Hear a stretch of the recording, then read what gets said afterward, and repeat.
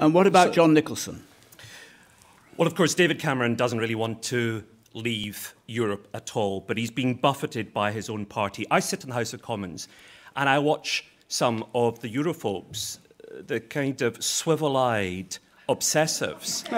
to, to mix my Radio 4 programmes, if this was Desert Island Discs, I'd be swimming towards the sharks. to get away from, uh, from some of them, no names, no pack drill. His, his demands are very modest. Uh, Nigel Lawson has called them disappointingly unambitious. But I expect very soon we'll witness David Cameron returning from Europe waving yes. a triumphant yes. negotiating um, document, and he will, will be, be landing lauded. at Croydon Airport.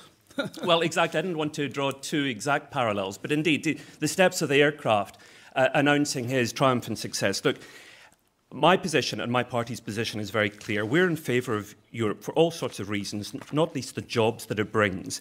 And the opinion polls show just how dangerous the results of Mr Cameron's brinkmanship are, because the last YouGov poll I saw had 57% of Scots wanting to stay in the European Union, only 28% wanting to leave. But by contrast, 43% of English people want to leave, and only 40% want to remain.